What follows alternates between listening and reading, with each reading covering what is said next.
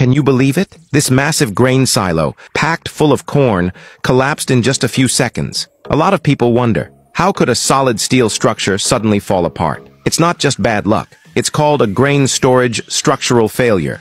After harvest season, thousands of tons of corn are dumped into these towering metal silos, some standing over 80 feet high. They look indestructible, but the pressure inside is incredibly complex.